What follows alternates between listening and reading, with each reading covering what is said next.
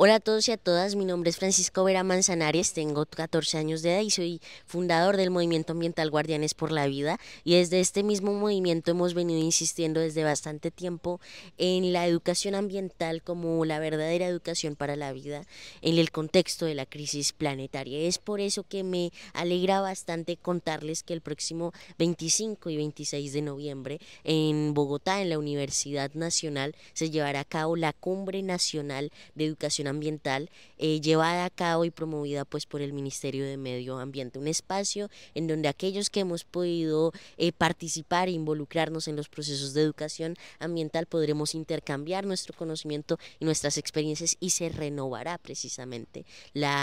la ley y el programa de educación ambiental de nuestro país. Así que por una educación ambiental que es la verdadera educación para la vida y que enseña a proteger la biodiversidad de nuestro país. stories.